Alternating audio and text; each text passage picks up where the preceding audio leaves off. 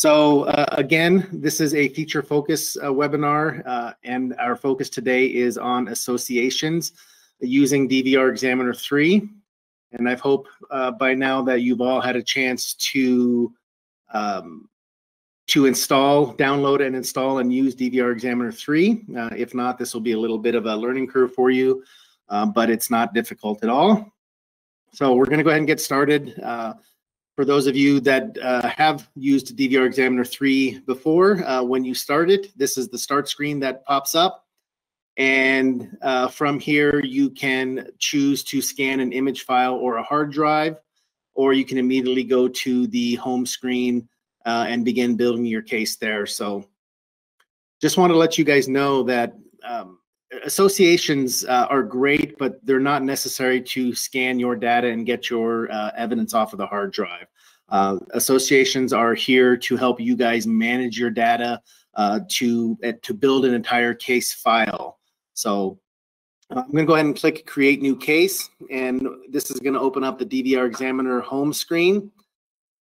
Hopefully you're familiar with that. If not, a quick, uh, quick tutorial on this. Uh, on the left-hand side, we have the Case Explorer and Details panel. Uh, this will show you all of the items that you have added to your case. Uh, that includes uh, locations, devices, and sources. And also, you will be able to view any of your case or incident information that you enter.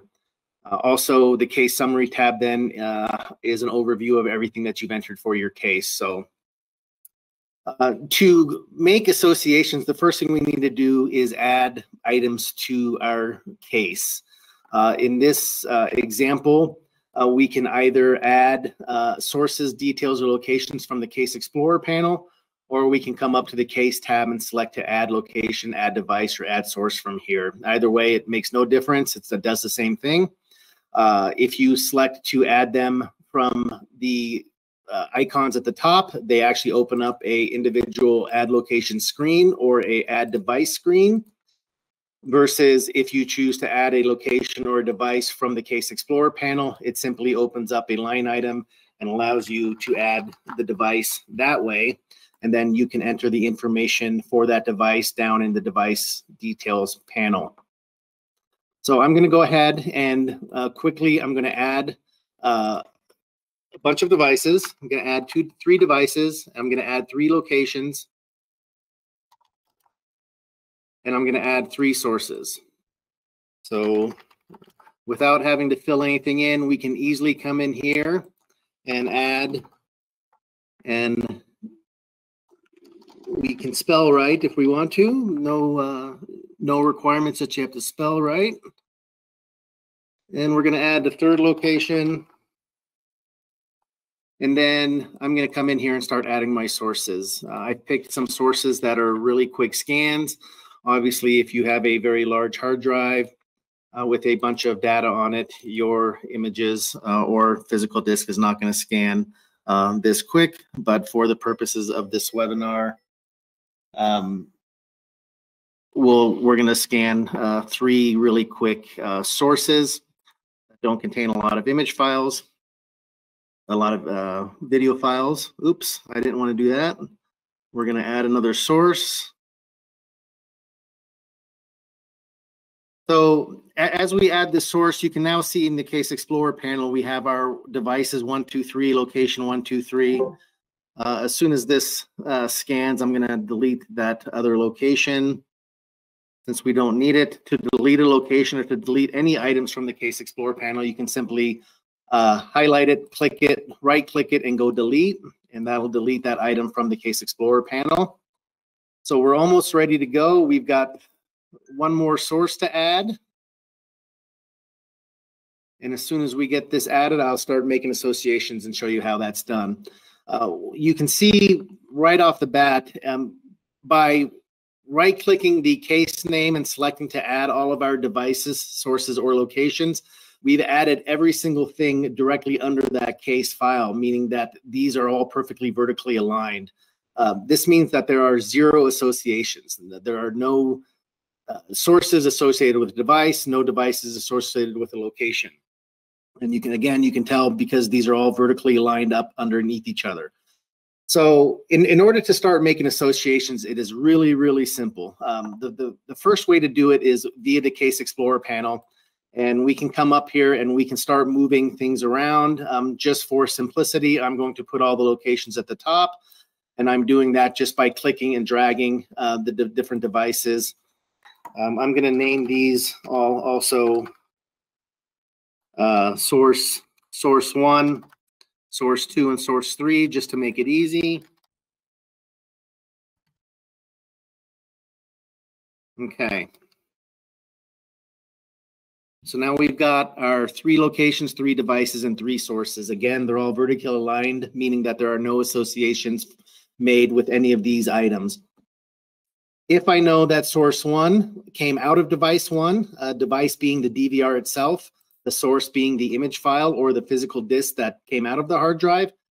If I know it came from device one and I want to make that association, I simply click and drag source one over device one until it says drop in device one, and then I let go of the mouse button. And now you can see that source one is indented under device one, and this means that there is an association that has been made. Um, source one is now associated with device one. If I want to associate device one with location one, meaning that this DVR came from this location, I do the exact same thing. I simply click, hold, and drag device one underneath or uh, over location one until it says drop in location one. And I let go of the mouse button. And now you can see I have location one device one and source one. And because they are indented like this, that means that they're they are associated. Source one is now associated with device one. Device one is now associated with location one. And by extension, source one is uh, associated with location one. Same, we can do the same thing for all of them. It's really, really, again, quick and simple. Just drag and drop.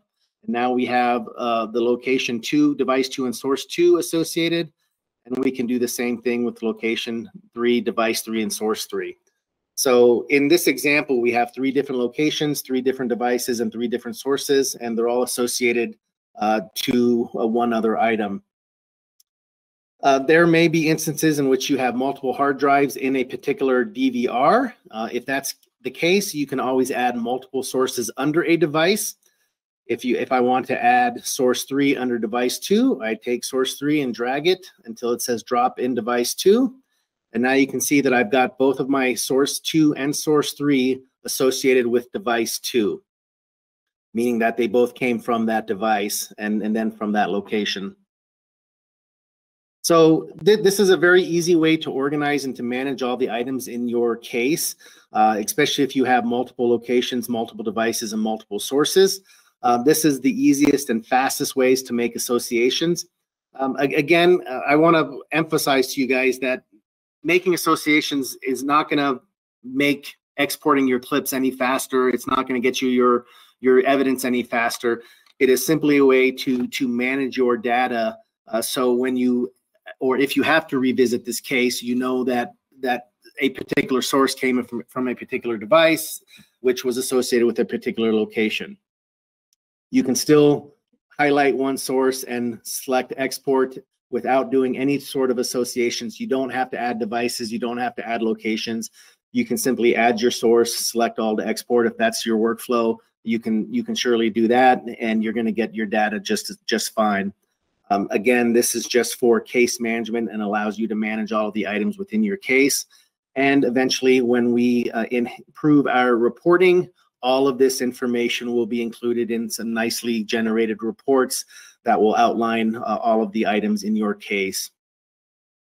So uh, I showed you how to make associations via the Case Explorer panel uh, by simply adding items directly to the Case Explorer panel. Uh, you can also make associations when you specifically add a location, a device, or a source from the case tab here. So I'm going to go ahead and add a device and show you. When I click add a device, we're going to name this device 4.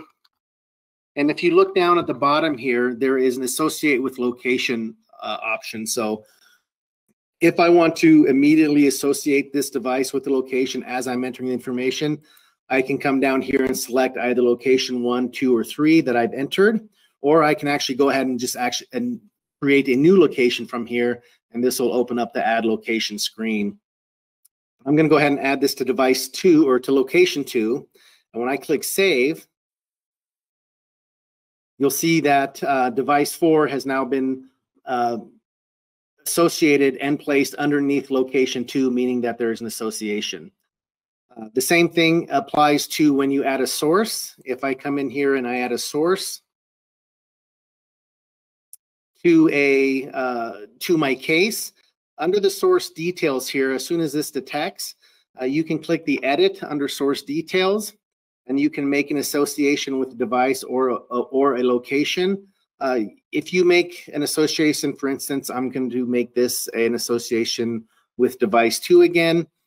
Um, you're not going to be able to select the location because by default um, they're um, they're inherent. So uh, if I select the device uh, to associate with um, device two to associate the source with, it's automatically going to be associated with location two because it's already the, the association has already been made. So I'm not going to be able to select both device and location, but I can select one or the other.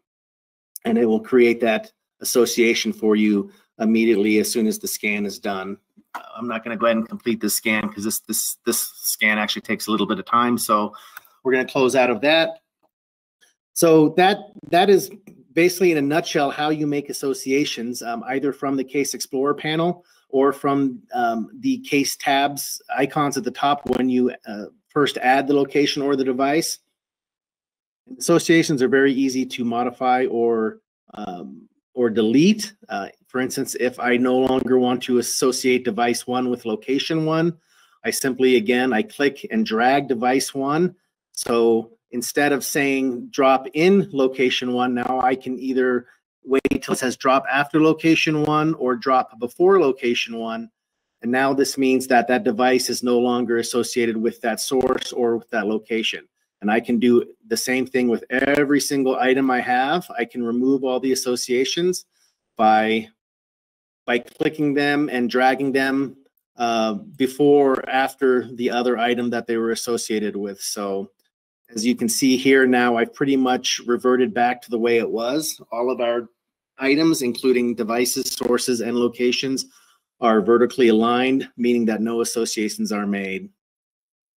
Uh, I I hope that helps. Uh, again, the, the biggest thing to get out of this is that associations are not needed to export your data. Associations are available to help you manage your case and to manage all the items in your case.